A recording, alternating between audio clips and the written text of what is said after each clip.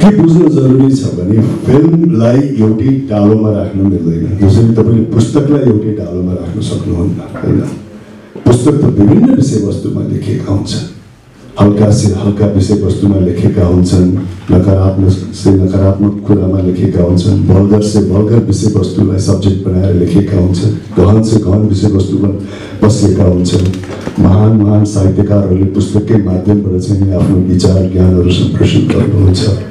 त्यस कारण पुस्तक जस्तै फिल्म पनि त्यही हो मिडियम त्यो मिडियमलाई प्रयोग गरेर तपाईँले विभिन्न किसिमको विषयवस्तु पस्कन सक्नुहुन्छ।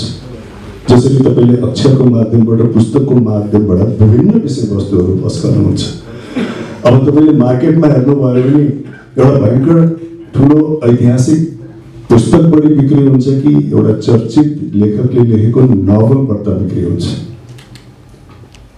चलचित्र पनि त्यही चलचित्र पनि सबैलाई थाहा छ मैले भन्नै पर्दैन। चलचित्रको माध्यमबाट विभिन्न विषयवस्तु विभिन्न इस्युजहरू विभिन्न सामग्रीहरू चाहिँ पस्केका छन्। विभिन्न देश विदेशका सबै कुराहरू आविष्कारहरू आजकल मान्छेहरू सबै चलचित्रकै माध्यम त युट्युबबाटै हेर्नुहुन्छ विभिन्न किसिमको लेसन्सहरू विभिन्न किसिमको जानकारी राख्नको लागि त्यसैको माध्यमबाट हेर्नुहुन्छ। त्यो पनि चलचित्रकै माध्यम हो। कारण चलचित्र भनेको असाध्यै भास्ट माध्यम हो। यो माध्यमलाई तपाईँले कुन हिसाबले प्रयोग गर्नुहुन्छ त्यो सर्जकको चाहिँ नि आफ्नो आफ्नो सुझबुझ को हिसाबले चाहिँ नि उहाँहरूले प्रयोग गर्नुहुन्छ। त्यस कारण चलचित्र यो हो या यो होइन भन्दा पनि चलचित्र त एउटा माध्यम हो। त्यो माध्यमलाई एउटा प्रोफेसरले धेरै तरिकाले प्रयोग गर्ला। अर्को एउटा जो व्यक्ति छ सङ्गीतकार उसले धेरै तरिकाले प्रयोग गर्ला।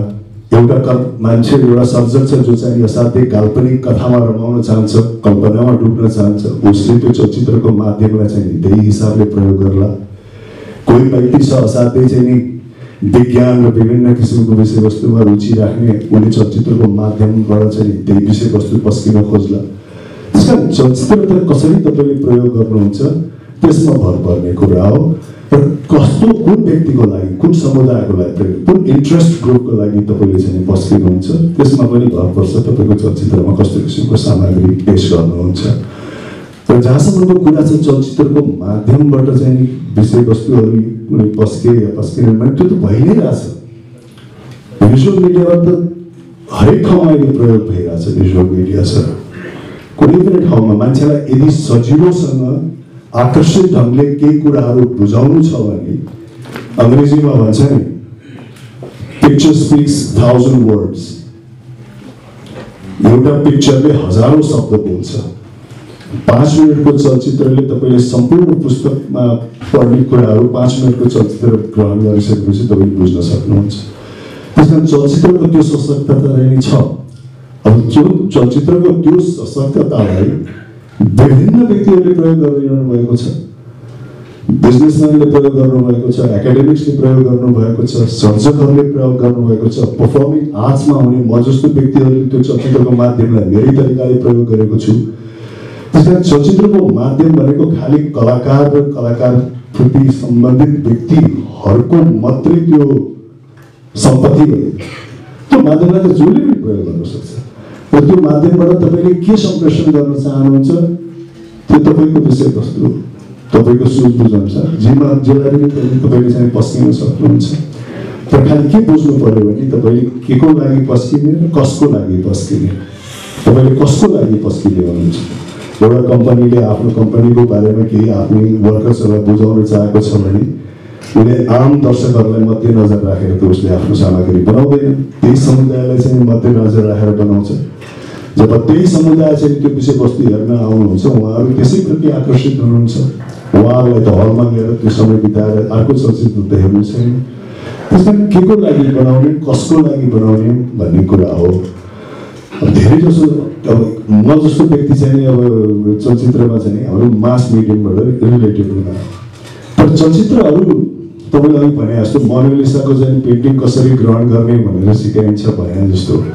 चलचित्रको स्टडी चाहिँ कहाँ हुनसक्छ भने चलचित्र ग्रहण कसरी गर्ने भन्ने कुरोको शिक्षा दिँदा पनि यस्ता यस्ता चलचित्रहरू विभिन्न कालखण्डमा किन बने त कसरी बने त त्यो चलचित्रहरूले के के कुराहरू प्रतिबिम्बित गरे त भनेर त्यो केस स्टडिज हुनसक्छ आ- आजको अर्को सय वर्षमा मेरै कालखण्डमा बनेका चलचित्रहरू एउटा विद्वानले सबै निकालेर आर्काइभ्सबाट त्यसलाई हेरेर त्यो बेलाको समाज कसरी प्रतिबिम्बित भएको थियो त्यो बेलाको कला कसरी प्रतिबिम्बित भएको थियो त्यो बेलाका चाहिँ फिल्म मेकर्सहरूले चाहिँ कस्तो सुझबुझ राखेर फिल्म बनाउँथे भन्ने किसिमको फेरि त्यो अर्कै किसिमको स्टडी हुनसक्छ किनकि त्यसमा चलचित्रहरूलाई समीक्षा गर्ने चाहिँ विभिन्न कोडबाट हुनसक्छ एउटा त तुरुन्तै निक्लेको चलचित्रलाई कुन स्तरको छ कस्तो छ कुन दर्शकले रुचाएको छ भन्ने समीक्षा हुन्छ अर्को सय वर्षपछि मेरै कालखण्डमा बनेका चलचित्रहरूलाई चाहिँ एउटा एकाडेमिसियन्सले चाहिँ आजभन्दा सय वर्ष अगाडि यो यो व्यक्तिहरूले यो समुदायहरूले नेपालमा चलचित्र बनाउँथे। त्यो चलचित्रहरूले के पस्किन खोजेका थिए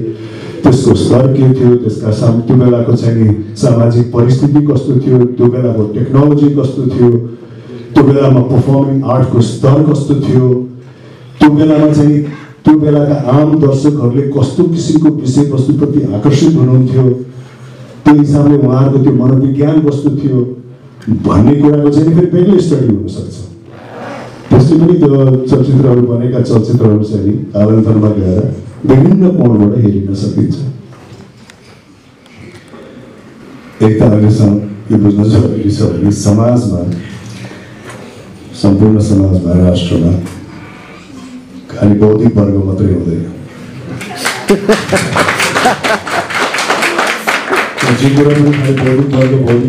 भने त्यो सामाजिक भेदभाव पनि हुन्छ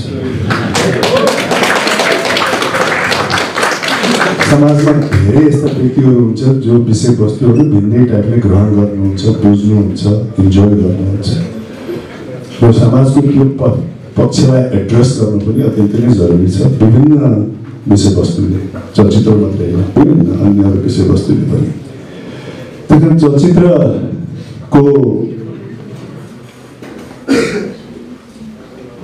उद्देश्य चाहिँ नि त्यही हो चलचित्रको उद्देश्य चाहिँ कुन वर्गलाई हामीहरूले सम्बोधन गरिरहेको छौँ फर इक्जाम्पल मैले तपाईँलाई के भन्छु भने मैले धेरै चलचित्र गरेँ एउटा मैले चलचित्र गरेँ बसन्ती भन्ने जुन ऐतिहासिक विषयवस्तुमा चाहिँ आधारित थियो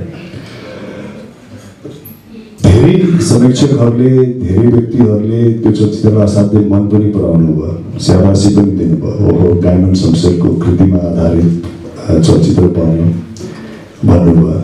तपाईँ जस्तो धेरै व्यक्तिहरूले तपाईँहरूले हेर्नुभएको भएन थाहा भएन तर अन्य व्यक्तिहरूले भन्नुभयो ओहो मैले तपाईँको अरू चलचित्र त हेरेको छैन तर बसन्ती हेरेँ। धेरै राम्रो छ भनेर भन्नुभयो।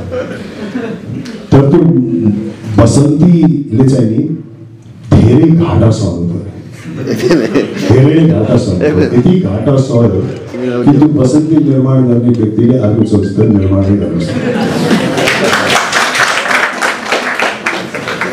त्यसकारण चलचित्रमा पुँजी लाग्छ तपाईँले निर्देशक निर्माताहरूले यस्तो चलचित्रहरू बौद्धिक वर्गलाई चलचित्रहरू बनाउने कि नबनाउने भन्नुभयो। यो कुराहरू चाहिँ के हुनु पऱ्यो भने कि त सरकारी तौर तौरबाट हुनु पऱ्यो।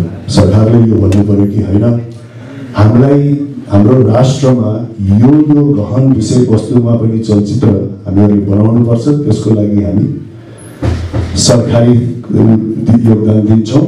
तपाईँहरू बनाउनुहोस्। यसमा मुनाफाको कुनै कुरा छैन। खालि यो यो विषयवस्तुमा चाहिँ हाम्रो राष्ट्रका नागरिकहरूले पनि चलचित्र हेर्न पाउने वातावरण सिर्जना गर्नु पर्यो। हाम्रो राष्ट्रको इतिहासको बारेमा हाम्रो राष्ट्रको चाहिँ साहित्यको बारेमा हाम्रो राष्ट्रका अन्य अन्य बौद्धिक विषयवस्तुको बारेमा चलचित्रहरू चाहिँ बन्नु पर्यो।